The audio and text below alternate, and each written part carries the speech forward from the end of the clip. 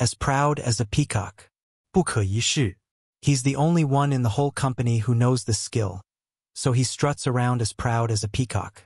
She's beautiful, yet as proud as a peacock. He inherited his father's personality, and always looks as proud as a peacock.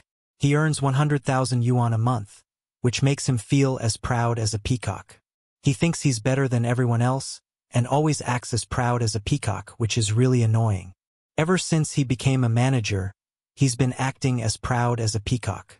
As proud as a peacock means to be very proud and arrogant, and to look down on everyone else.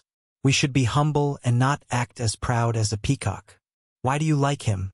He's so stupid, because he's sincere and doesn't act as proud as a peacock like everyone else. He's the CEO of 10 companies, but he seems very approachable and doesn't look down on everyone else or act as proud as a peacock.